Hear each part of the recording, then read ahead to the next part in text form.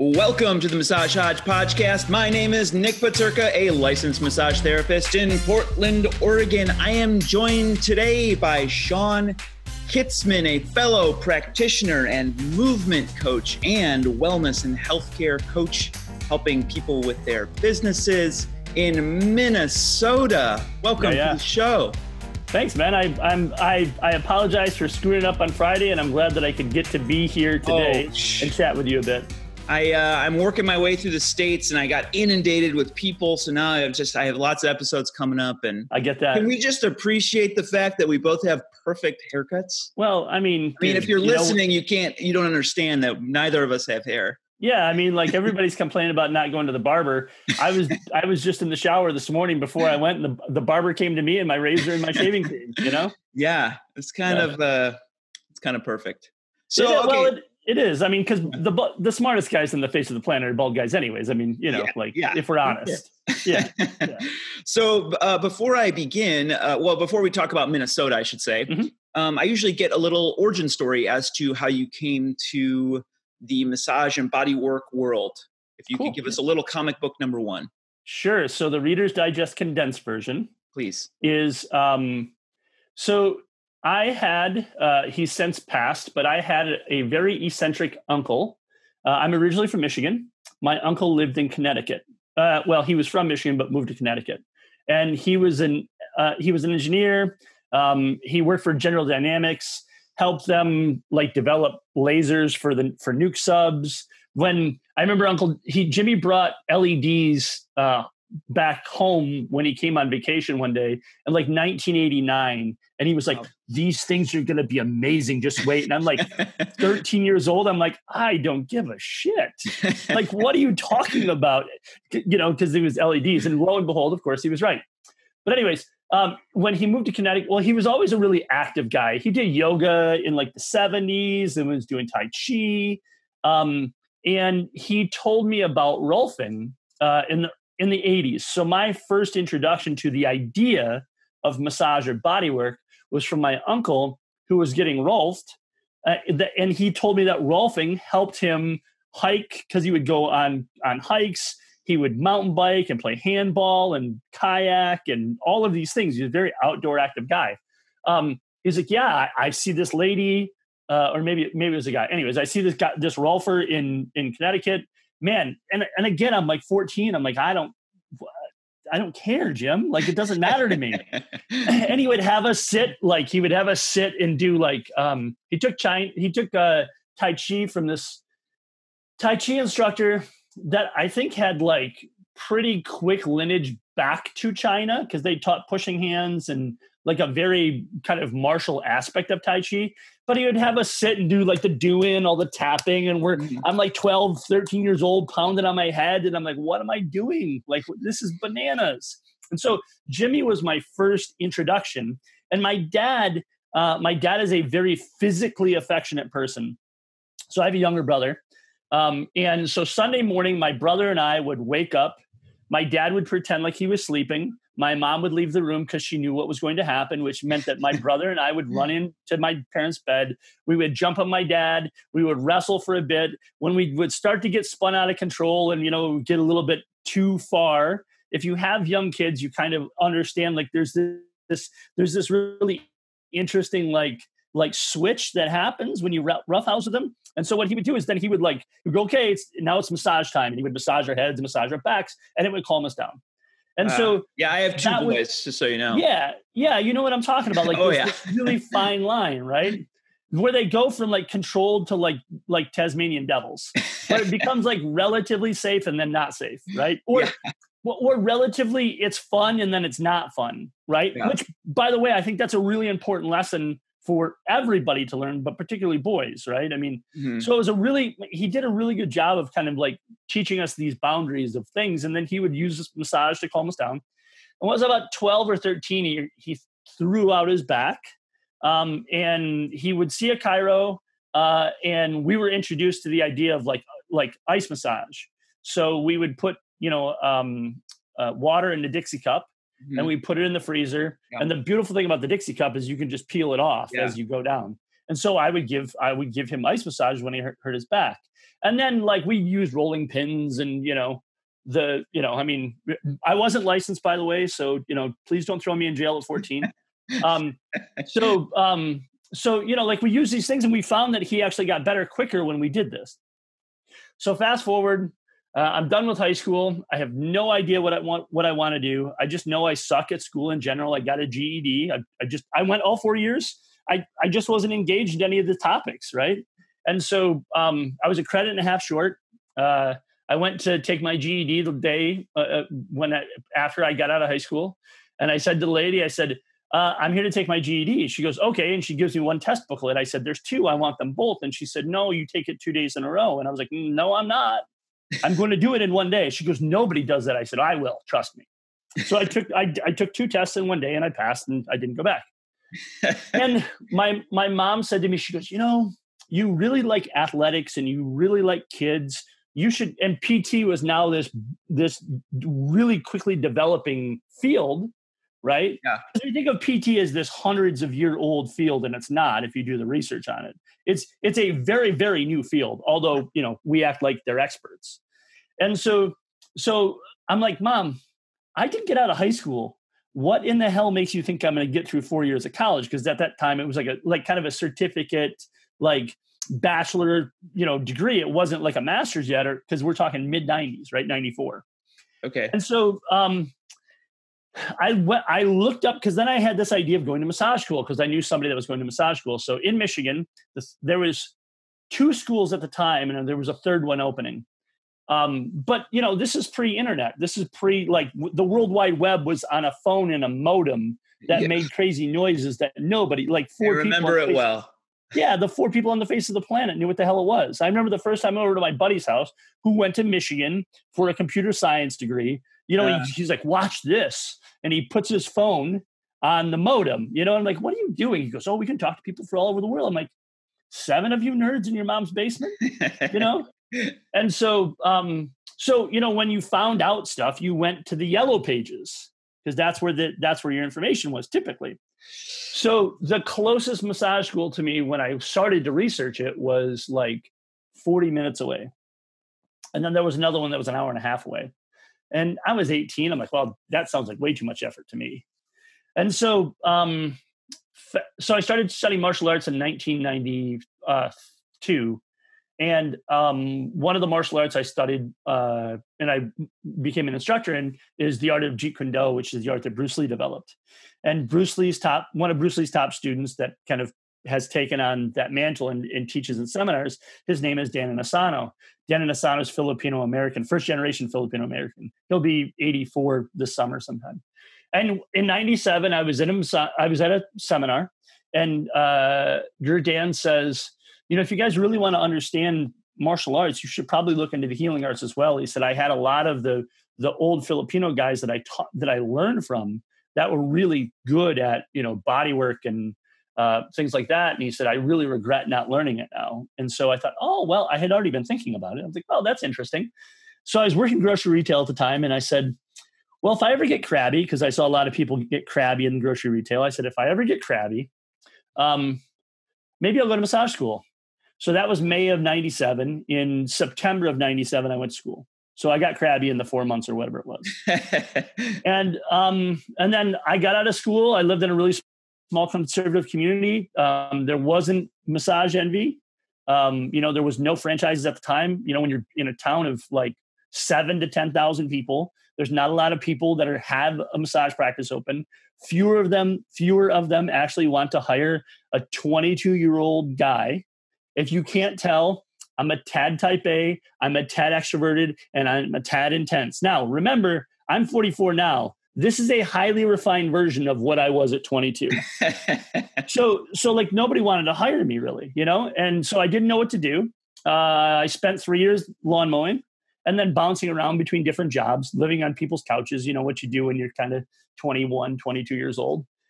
And then in 90, uh, yeah, let's see, in, in 2000, uh, I had the worst day lawn mowing because it was 95 degrees with a million degrees relative humidity.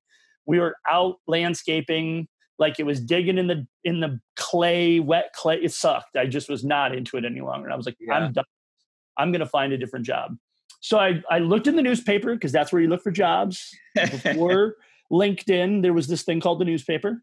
I looked in the newspaper and a, and a chiropractor um, was looking for a massage therapist. So he, I went, I called, they had me come in same day for an interview. He hired me there and I started the next day. I worked for him for about nine months. Um, and then in between that time, I worked, uh, I also hired in at a private practice, massage practice in a uh, racket club mm. or a mm. tennis club. Um, and I worked, I worked for the chiropractor for nine months and I worked for that lady. I kind of apprenticed underneath her um, for uh, three years. And so, you know, I mean, we can kind of go for from there, but that's my, that's kind of my yeah. journey massage yeah that's that's quite a journey. So work work uh jobs until you get too crabby and then yep, yep. yeah until you hate your life more than you're willing to to say. Yeah. Oh i hate it. and once you found massage you found you found your little uh your groove to stick with. Although yeah. yeah. Yeah because the, the thing it was is i loved to pro- i love to solve problems. And in both of the environments that i was in solving problems was a premium. Like that was something that you know people valued yeah and so I, I tried to do relaxation massage. Mm-hmm. Um, I lied to myself for about three years and thought that, man, if I just do one more this way, I'll be good at it. And I was never good at it. I sucked. Yeah. I was really bad at it. And so, um, and I think it's a valuable skill, by the way. Like I think that I'm I'm envious of people that can take people into a room and give them this nice, relaxing, tranquil experience. That I do quite a bit of that actually. Yeah, there's no way in hell I could do it. The only way I can knock someone out is if I hit him in the head with a two by four. I mean, like I just there's no way. I gotta be honest. I sensing your energy. I, I, I fully believe you. Yeah. Well, I you know I mean like I try I'm because I I'm no stranger to like like working to get good at something. Yeah. And damn it if I didn't try. Like I tried like hard. Do you like? Are you? Can you calm down and receive that type of work? Love it. Okay. Love it. That's why I see the value in it because yeah. it takes me it, it, takes me at a you know a little bit more of a beta state right? And then puts me down or a high alpha state sorry and then puts me more into like a beta brainwave state. Like it it slows me down quite a bit. Yeah. So yeah i love it. I think it's extremely extremely valuable and extremely extremely important. I'm um, glad i'm kind of glad to hear you say that. I feel like there's there can be a little bit of like oh it's the worst. just yeah. like people yeah. on one side going like ugh relaxation massages like what a waste of time and then like the other end being like the woo woo side being like well you guys are too intense over there like yeah yeah well so i really see value on both sides. Yeah i think that the thing that people forget about is a good manual therapist. I don't care if it's a chiropractor i don't care if it's a massage therapist i don't care if it's an osteo a physio a massage therapist. The good ones are the ones who can downregulate the central nervous system and the autonomic nervous system well enough so that the client's brain feels safe enough to make changes yeah, there you go. Look, I don't give a shit how much ART you do, or deep tissue, or or Graston, or whatever. You know, run them over with a with a uh, a lawnmower. Like I don't care what it is that you do. If you don't understand how to how, if you don't understand that the brain is m- far more important than tissue, then you're just running yourself into you're not actually getting anywhere with your clients. You're just making them sore. You're inflaming the area. So that was when I was at school the reason why I tried so hard at it was because they really. I, I went to uh, Health Enrichment Center in Lapeer, which is where Sandy Fritz Sandy Fritz taught. Uh, that that was her school. Wow. So um, yeah, it's really funny because I when I was in school, um, everybody was afraid of Sandy, and I liked Sandy because um, I wasn't afraid of Sandy. I'm like Sandy puts on her pants the same way I do, you know, like you know. But Sandy's this really type A personality, and and very polarizing as well, right? Mm-hmm. So um so anyways, like they taught us they had two they had two tracks. You could go through like subtle energies or you could go down like kind of what they called like an advanced clinical route. But they would tell you, look, at the end you're going to arrive at the same place. Mm. Right? So so if you if you know what what do subtle energies do really well? They they calm down the central and the autonomic nervous system right? Like if you're with a good practitioner, that's what happens. The change happens when those two things are are are in alignment and the brain feels safe and the client feels safe. And so they did a really good job. I was the last thousand hour hands-on program in the state of Michigan. Um, so so yeah, I mean there was a it was a I think it's really important. I think it's extremely valuable, and I and I agree with you. And I'm and I get really upset and frustrated with people who are like, "Oh, that relaxation stuff, blah blah," or I don't want to be that. Yeah, you know. Okay, okay so um, let's jump over now. This is um, sort of a short conversation about yeah. Minnesota. Yeah, I've been talking to people about the requirements for different states. Uh, all mm-hmm. states have different requirements, and so give us the skinny on becoming a practitioner in Minnesota. Yeah, so it's um, it's a certif- certification state, so there's no licensure. Um, sometimes you know towns or cities will have license that you will be licensed through that. Um, yeah. And some towns and cities are really tough with it, and then other ones are really lax with it. So what you find is certain towns and cities don't have a lot of massage therapists, and mm-hmm. other ones do. I mean, it's it's it's capitalism. I mean, like that's that's exactly what happens. And so um, but all that to say, there's very few hurdles to clear to become like yeah. someone off the street, no experience with body work, massage. They could ostensibly start a practice and just like read a book about it and watch sure, it. but but they, if we're gonna be yeah, but if we're gonna be honest, they can do that anywhere. They I mean, yes, I understand. I mean, if we're gonna be, there's no like, there's no, there's no, no, no regulation. There's no licensure. No. There's no system no. set up. Yeah. yeah. yeah. Yeah. Yep no enforcement. And that was and the way, so, like like we talked about it before we got on. That was the way Michigan was for the first probably twelve or thirteen years of my career. Okay, and then what do you see as sort of the good and the bad in that? Does it how, does it affect the culture there in terms of getting body work, or is no? Yeah. No, I mean, because it didn't affect the body work, the culture in Michigan when I was there either. I mean, you know, like, like the, the funny thing about it is, and so my wife is a nurse practitioner and nurse midwife, and I think that the the the closest that you can get in the healthcare community to massage therapists is, is nurses, because it, it, each state is individually licensed, right? Okay, so yeah. um, the reason now the difference with that is is that's in they're based it's it's paid via insurance, right? I mean, like so when you're at a hospital, the hospital generates the revenue via the insurance industry, right? So, um, and obviously they make life and death, death decisions. You know, I mean, mm-hmm. like if you're an ER nurse, you're making life and death decisions. I've made a lot of decisions in my career in 20 years. I've never made a life and death decision in my in my career. And maybe on occasion someone does because someone has a heart attack or a stroke, and but it's that you know, I mean, it's not like it, it happens all the time.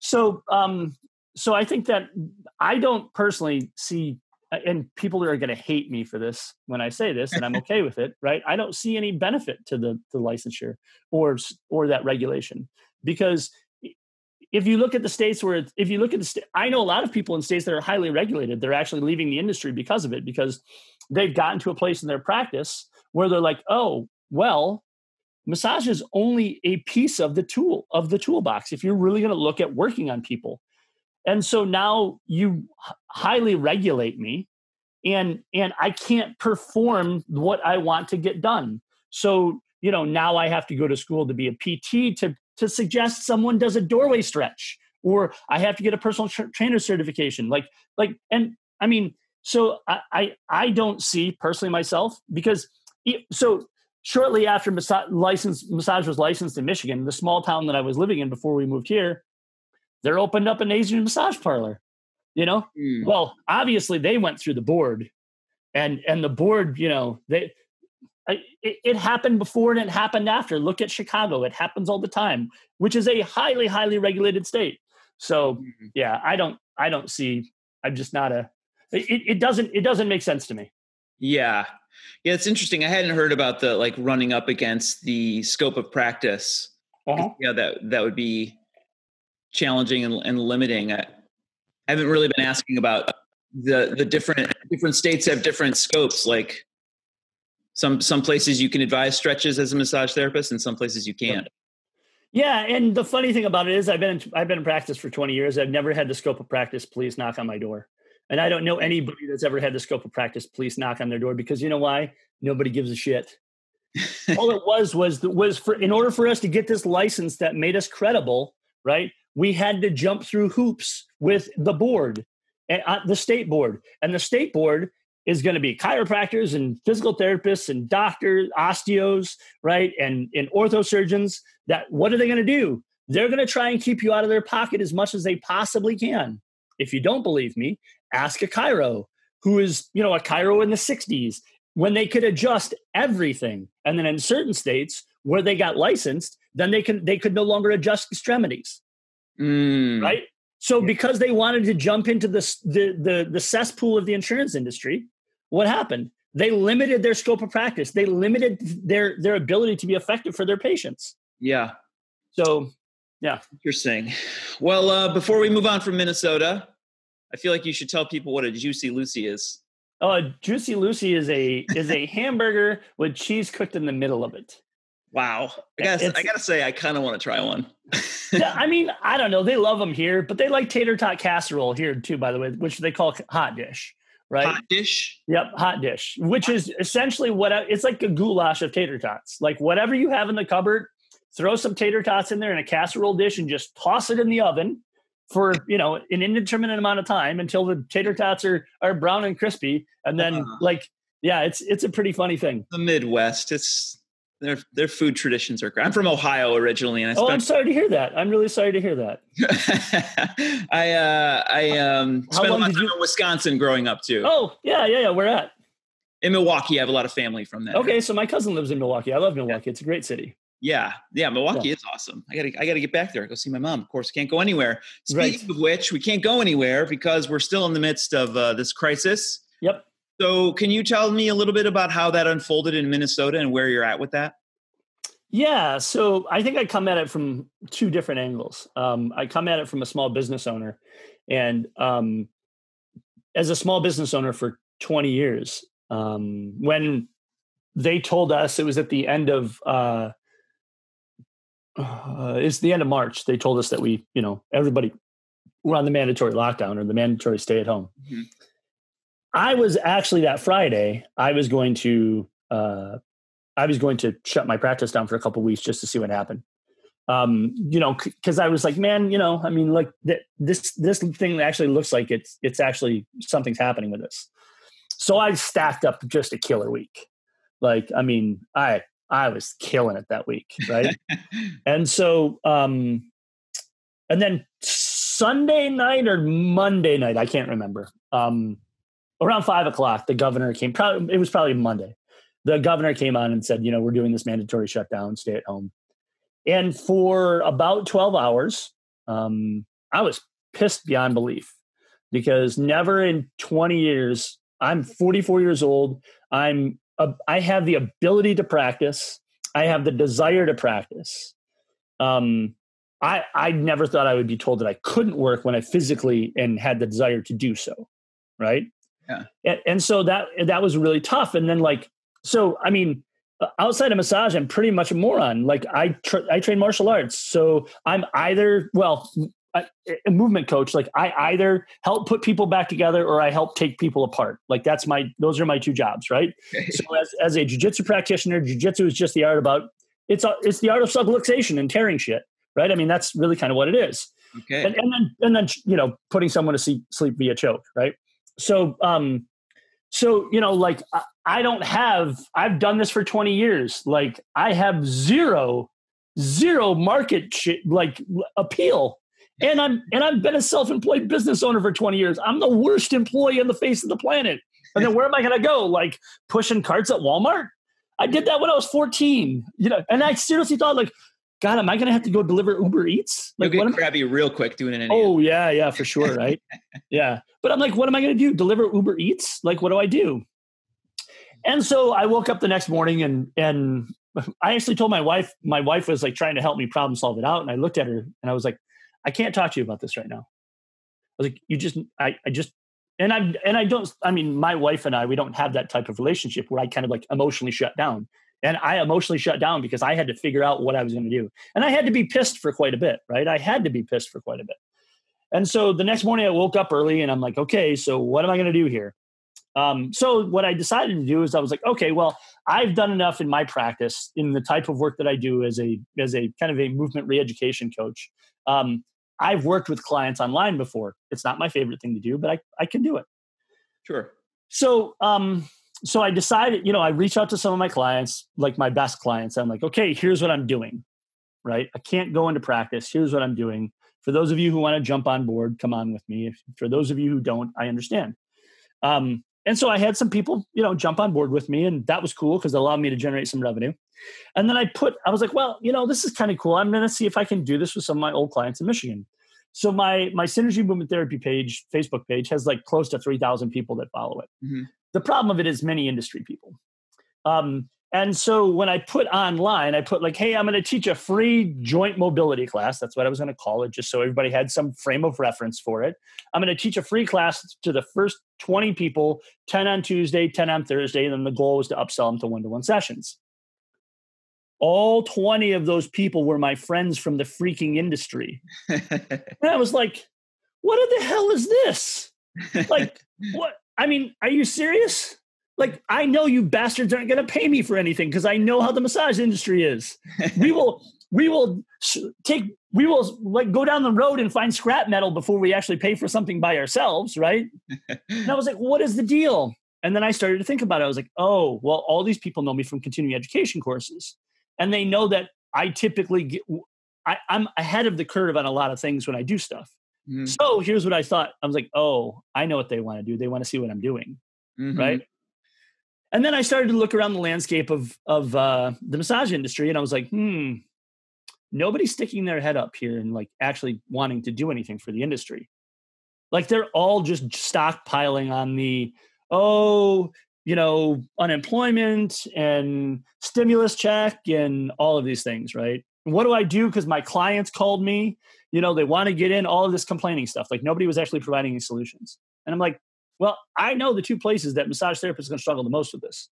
Um, they, we, as an industry, we suck at interviewing clients to help to to create a system of hierarchies. So then we could take an online platform. We could start to have we could start to produce outcomes for our clients that were favorable that would make them want to come back.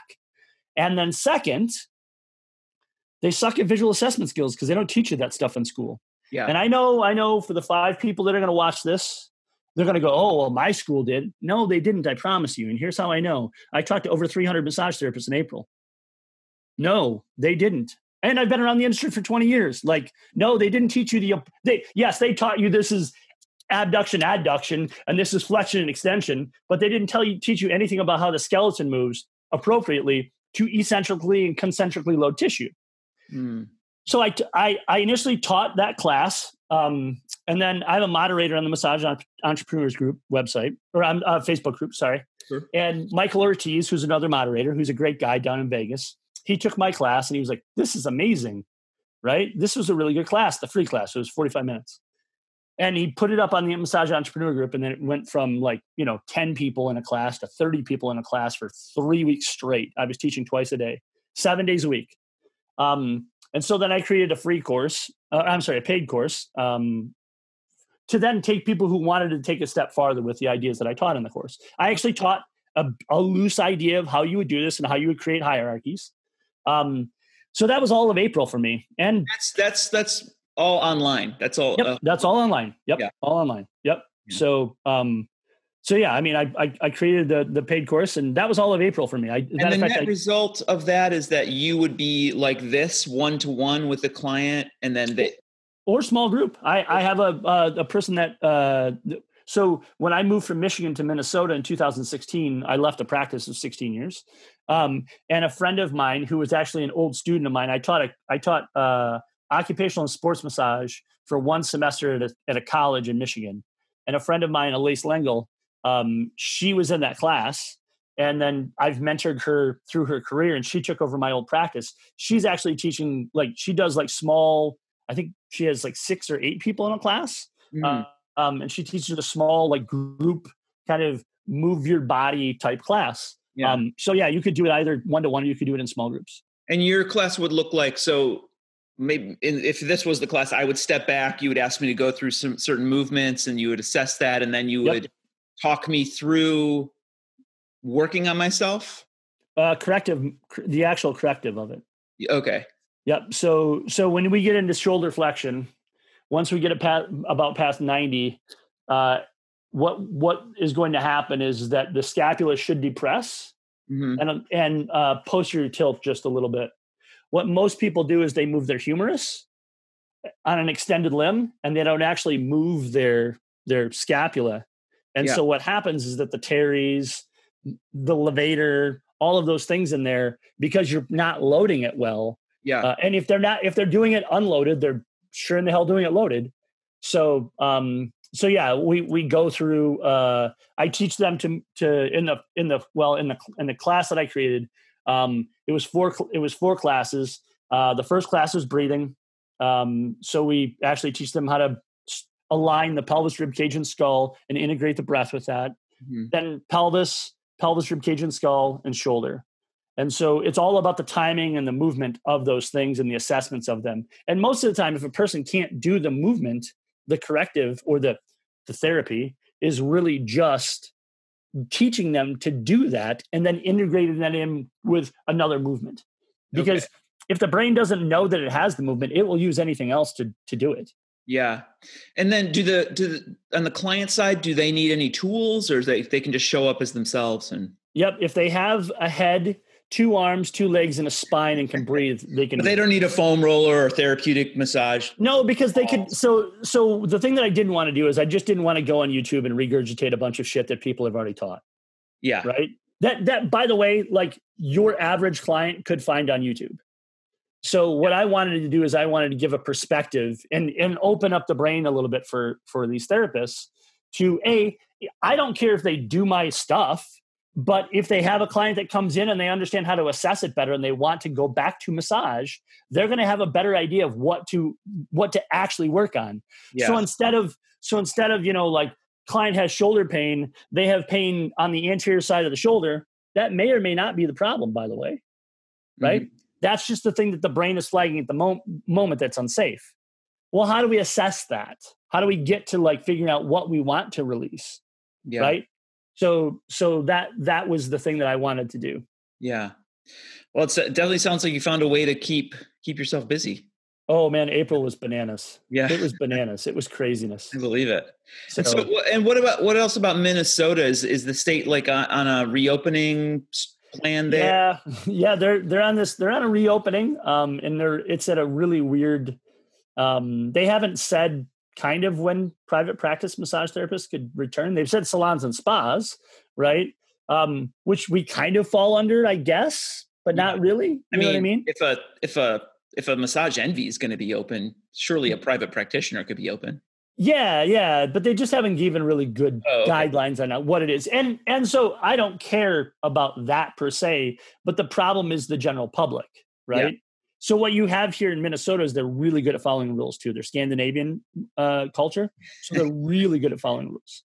Yeah. So I mean, they will drive 55 miles an hour in the left lane and not get out of the left lane, right? yeah. So, uh, and I'm from Michigan. We drive 85 in the left lane Yeah. if the speed limit's 70, right? Like, get the hell out of the way, you know? I mean, Yeah. so they're really. so when do you see yourself back in back in action with live clients? Um, I don't know to be completely okay. honest with you. I mean, it's it's it's something. So the other issue that I have again is my wife is a nurse pra- practitioner, nurse Right. midwife. So you know, she, she actually had a she has a colleague that was diagnosed this week. So I'm kind of a vector. I see. Um, Yeah. so um, yeah. So I don't know. Um, I I I have I have other things that I'm working on anyways to to Mhm. kind of supplement supplement my income and, Yeah. and make it so that if if and when something like this happens again, the bottom just doesn't fall out for me, and then I've got to, you know, work my face off for a whole month.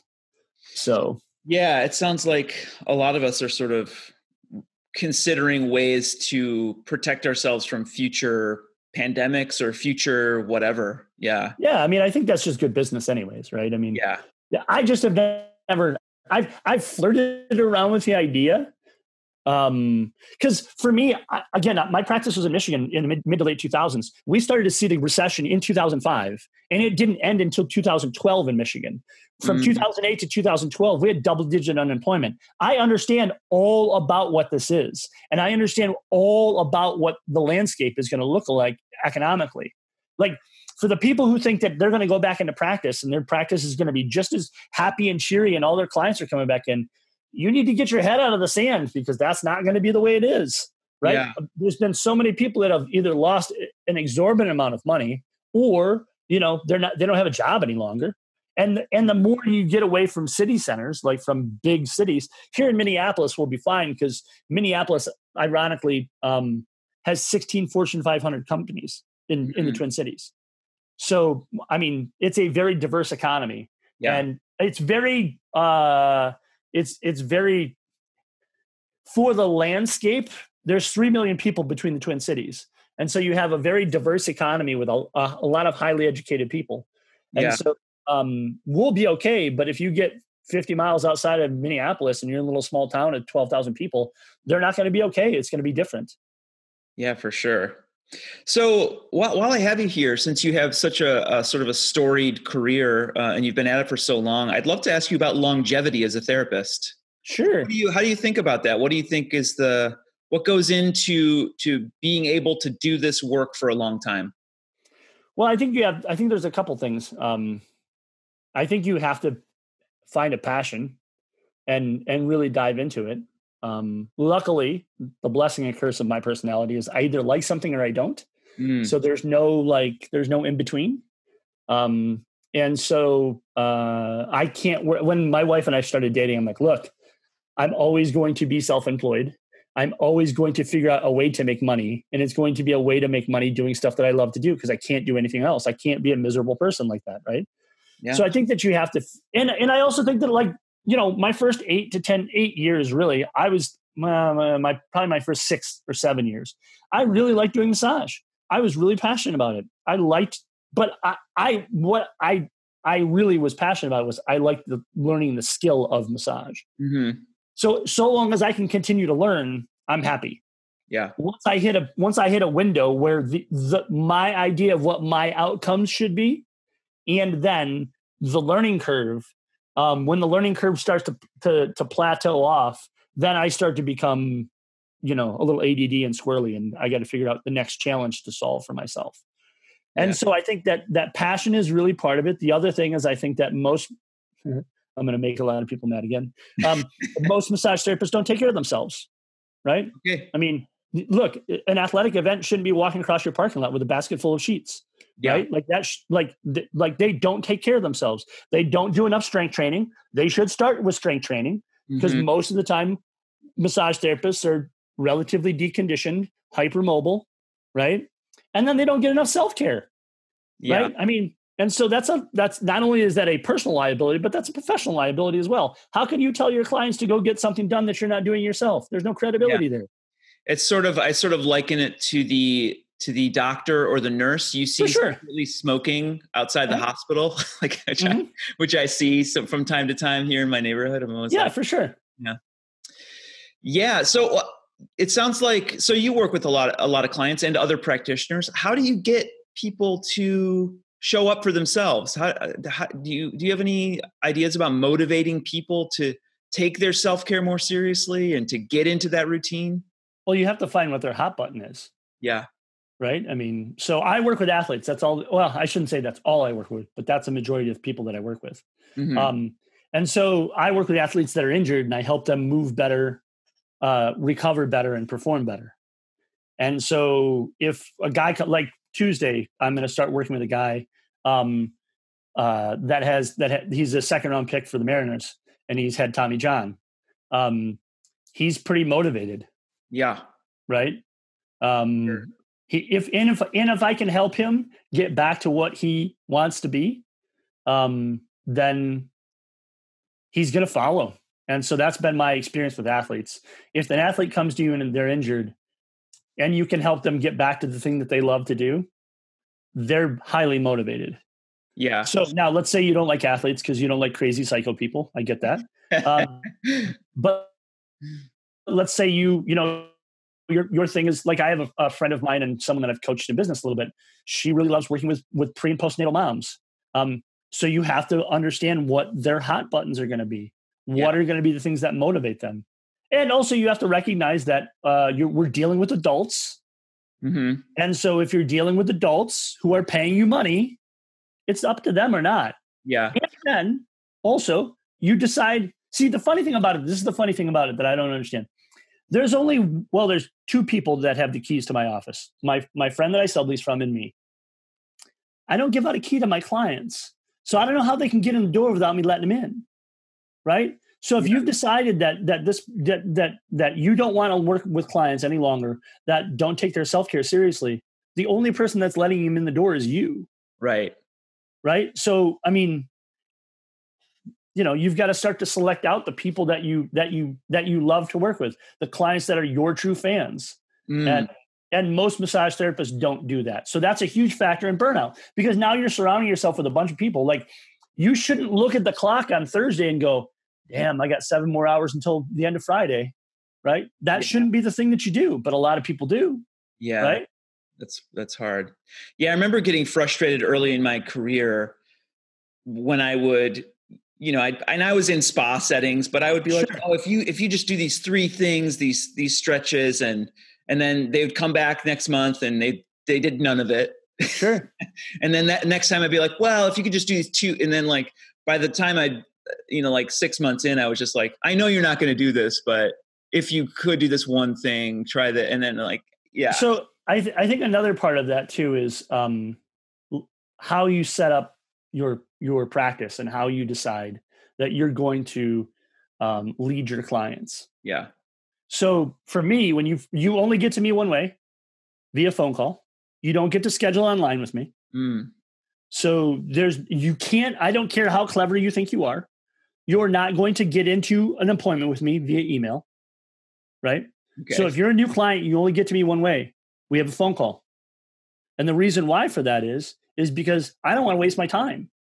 So, you know, like I, I want clients who are going to come in uh, uh, on on a regular basis until we we collectively they and I problem solve their issue out until and then we talk about I talk to them about maintenance programs and I tell them you are going to I'm going to give you one to three pieces of homework at the end of every session yeah. So they right? know up front what's Yeah, coming. because why? I'm being a professional for crying out loud. Yeah. Right. I mean, that you, when you go to get your oil changed, they put the sticker on there and they go, Hey, look, this is when you should come back so your car doesn't blow up. And what do you do most likely? You go back so your car doesn't blow up. right? I mean, because yeah. why? Because you're going to see the professional. And so, uh, um, and then I, so I have this really ingenious device for homework. So I'll show it to you. Now it's going to blow your mind because you've never seen this before. You sure. ready?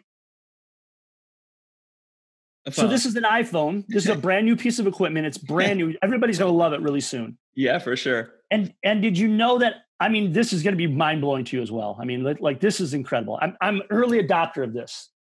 There's this thing called a video camera on here that you can film stuff, yeah, and yeah. you they, there's technology now that you can send it to people in a text or an email. Amazing. That's amazing so what I do at the at the end of every session, when I see people in in person, um, they film me doing their homework.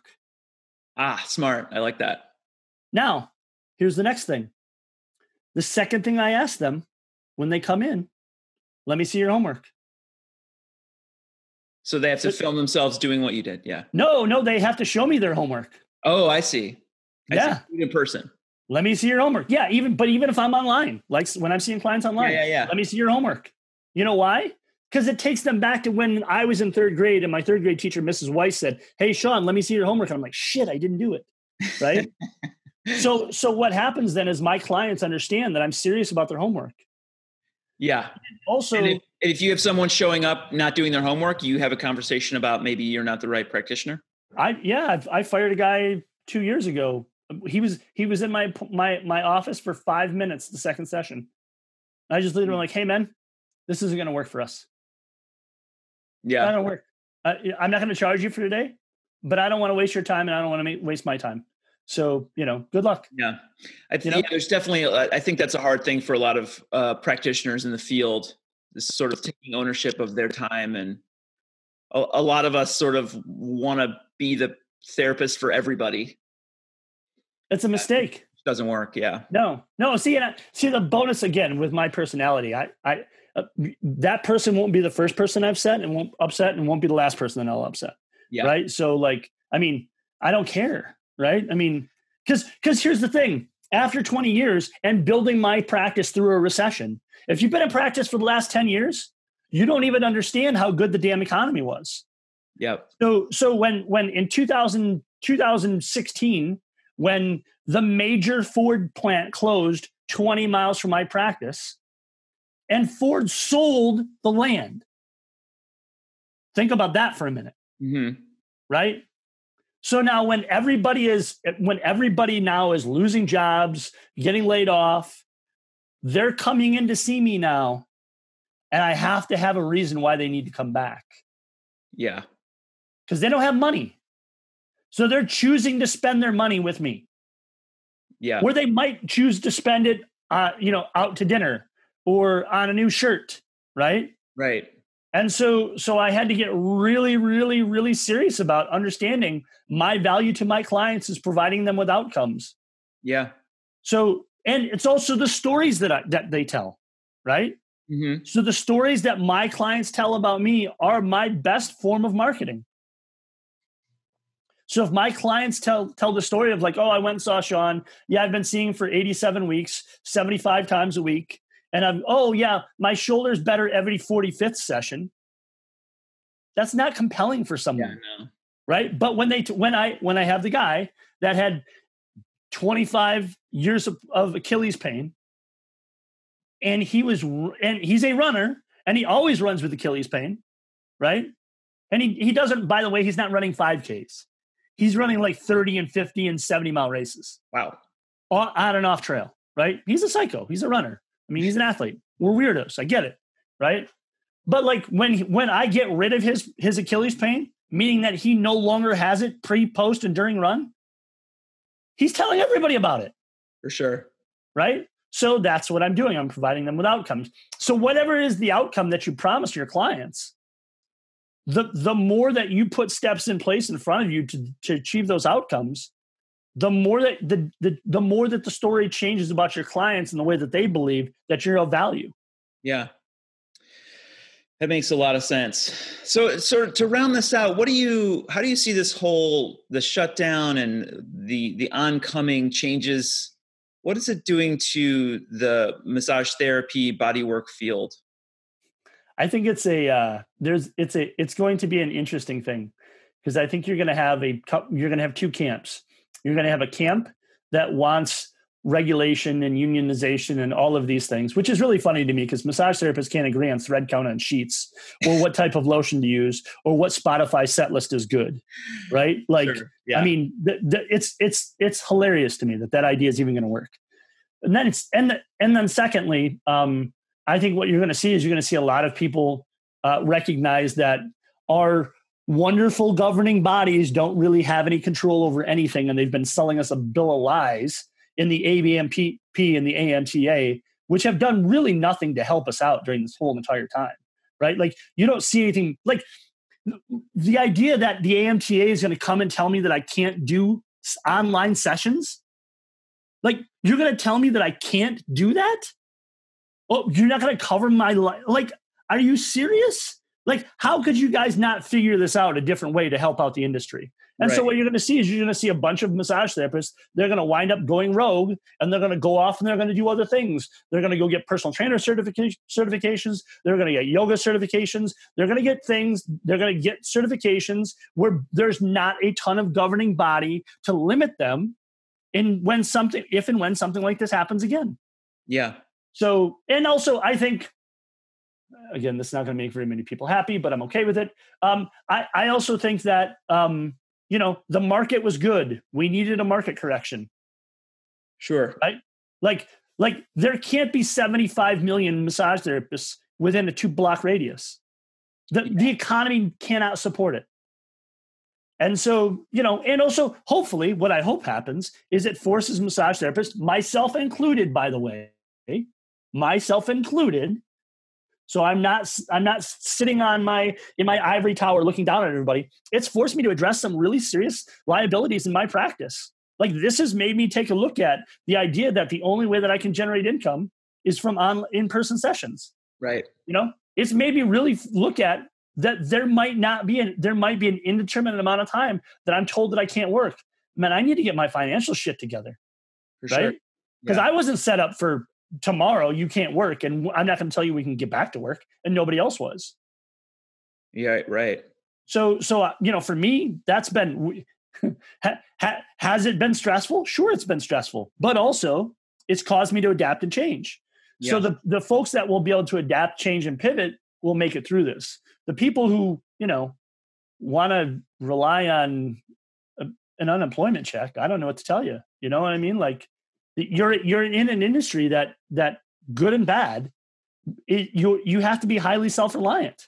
Mm-hmm. And if you struggle with that, you're gonna you're gonna struggle with business anyways. Eventually, like that's gonna be a problem for you, right? If you can't answer the problems that are in your practice, that's going to be a hard time. That's going to that's going to be a struggle for everybody. Yeah. Oh, so much to think about. So this uh, this whole thing will continue to unfold, and people can learn about you. ShawnKitzman.com. Is that? Yeah, or you know, I'm on the Facebook and the Instagram. You know, so you can you know go on the Facebook and the Instagram and find me. I'd love to chat for a few more minutes off of this sure. recording, and um, thanks again for being on the Massage Hodge podcast. Hey, thanks, Nick. I appreciate it. It was a great really time. Appreciate it. And yeah. uh, everyone listening out there, you can subscribe, find us on Apple or Spotify or wherever you listen, and we'll catch you next time.